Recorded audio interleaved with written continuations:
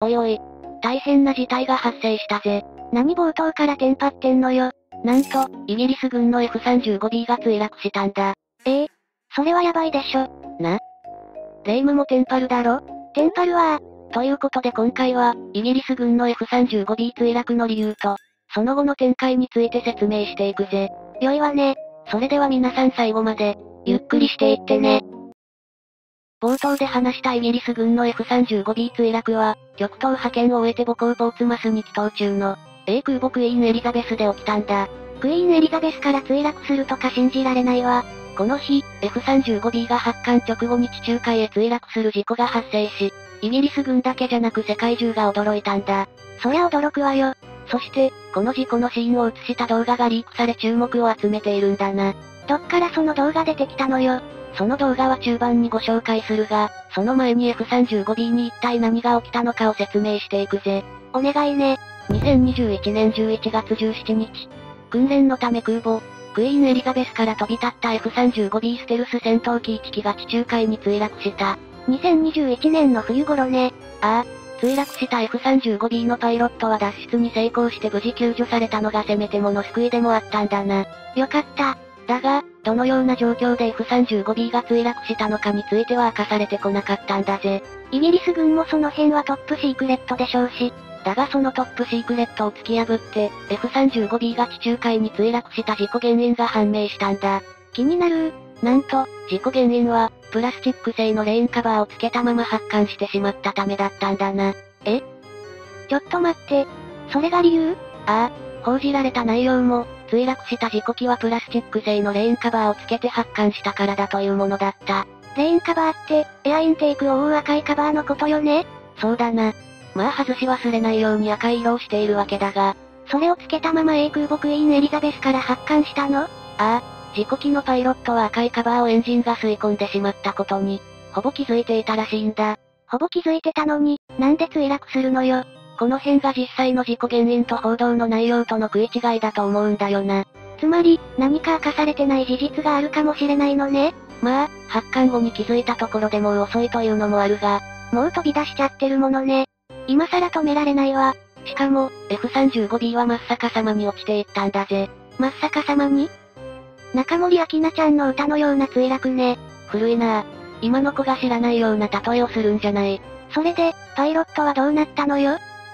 まさか、いや、大丈夫だ。生きてるってこと？ああ、クイーンエリザベスのスキージャンプから飛び立ったと同時に緊急脱出できたので幸い無事だった。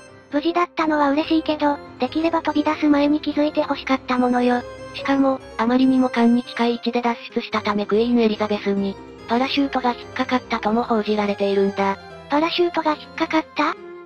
それでよく生きてたわね。このパイロットが優秀だったのか、運が良かったのかはわからないが、無事だったのは奇跡だな。奇跡というか、命が関わるものなんだからちゃんとチェックしないとダメよ。ああ。助かったからといって再発防止に努めないようでは隊員として失格だな。危なすぎだしね。国を守る隊員なんだから、もうちょっと危機感持たないと。さらに、A 海軍の水兵は F35B が墜落した海面付近で赤いカバーを発見したとも報じられている。まあ、そりゃカバーも見つかるでしょうけど、そういう問題じゃないわよね。事後報告をしてる場合じゃないよな。まずは事故を起こさない、日々の点検と確認が大事よ。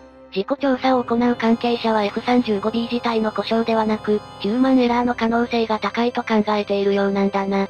確かにこれは人為的ミスだわ。現在、同型機の運行停止措置は行われていないから、クイーンエリザベスの F35B は通常の運用が続けられているらしいぜ。そうなのね。これに対して A 国防省は、本件の事故原因や事故状況について、一切情報を公開していないというスタンスを貫いている。もうちょっと調査に協力的でもいいような。そうだよな。なぜか早くこの件を終わりにしたいという感じなんだ。まあ、国としても大きな失態だから恥になるしね。だが、問題を起こしたのも自分の国の軍だからな。これは何か闇が隠れてるかもね。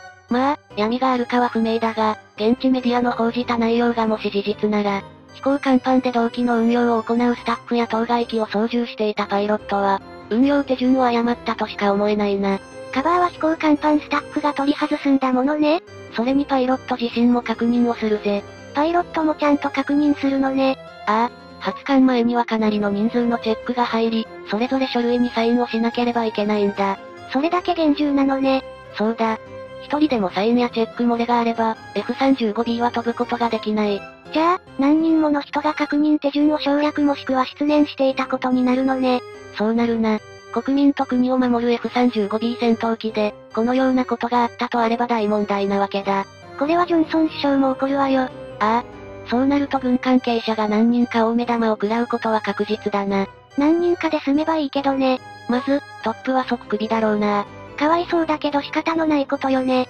それだけ緊張感を持たないといけない職業についているんだからな。しかも F35B を1機お釈迦にしちゃったんだもの。しかも F35B は1機、約1億ポンドもするんだぞ。これは一生かかっても払えない額ね。戦闘機を失った代償は機体代金以上に高くつくだろうな。さて、リークされた動画について詳しく説明していこう。はい。この動画は、環境方向から映されているためエアインテークを覆う。赤いカバーがついたままかは確認できないのがネックではあるんだ。本当にカバーがついているか見てみたかったわね。だが、F35B がスキージャンプを離れた瞬間にパイロットが緊急脱出している様子はバッチリ映っているぜ。おお、九死に一生のスキージャンプになったわね。まあそういうことだな。現在も英海軍は事故原因について何も明かしていないため、メディアが報じた内容が本当なのかはわからないがな。でも、実況証拠的には緊急脱出が真実味を帯びてきたわね。ああ。実況証拠的には完全にヒューマンエラーだ。イギリスも信用回復に大忙しなんじゃないかしら？まあ、最近はイギリスも警告の空母を設計したりしてるからな。バブコック社のことね。ああ。これはお隣の空母建造なんか手伝ってる場合じゃないな。このニュースに対して様々な意見が届いているから、一部紹介していくぜ。お願いね。パイロットもそれが分かっていたからこそ、すぐ脱出したんだろうね。この場合、どういう行動が最適だったのだろう？適切な行動をする前に、まずは起きないように確認を徹底するべきだわ。エンジンを止めて足折るぐらいの覚悟でフルブレーキするか。いっそのことエンジン止めて足を収納して胴体摩擦で止められるか試した方が良かったのだろうか。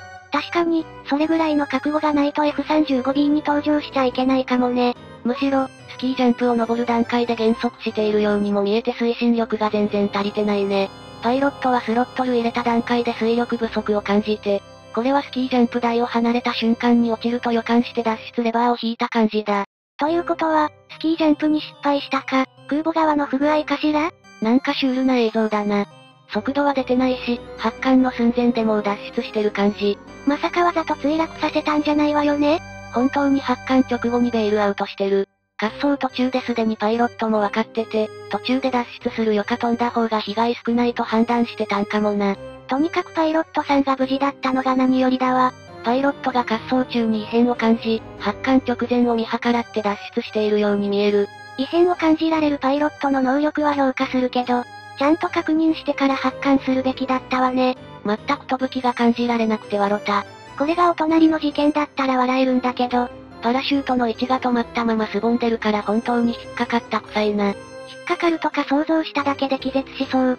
たまたまスキージャンプ台に引っかかったからいいけど、あの位置で真下に落ちたら航行する間に巻き込まれて亡くなっていたと思うよ。かなり危険な位置で脱出したと思う。ほんと、九死に一生よね。エアブレーキ出たまま滑走してるし全然加速してないし、離陸直前に脱出してるし、動き出した直後には状況に気づいて色々リカバリーしようとしたけど手遅れだった感じ。何をやってもダメな状況だったのね。戦闘機乗りは大変だわ。不謹慎だけど鳥人間コンテストを連想してしまった。レッドブル主催でやってたらまだ笑えたんだけどね。ジャンプ台の坂を上がり始める頃には減速してて、なんとか止めようとしてる感じですね。こんな空母の間近で使う緊急脱出も、結構危ないんじゃないですかね。やるしかないのでしょうが。脱出の訓練をしていてよかったわ。空母運用が長らく途絶えていたからね。甲板クルーの連動喪失しちゃったせいもあって、インテークカバーの外し忘れなんてボンミスをしちゃったのだと思う。ボンミスで1億ポンドはでかいわこのように、イギリス軍のまさかの F35B 墜落事件に、みんな興味津々なんだ。そりゃ興味津々でしょ。イギリスがこんなことやらかすなんてね。ああ、夢にも思わなかったな。でも意外と知られてないだけで、よくある事故だったりして、今回たまたまリークされただけで、実はどの国でもこういう事故が起きている可能性は例ではないぜ。これはその辺もほじくっていかなきゃね。そうだな。それはまた次の動画でほじくりまくるぜ。本日のお話はここまでだぜ。よかったら、チャンネル登録高評価お願いしますね。それでは、皆さん、また次の動画でお会いしましょう。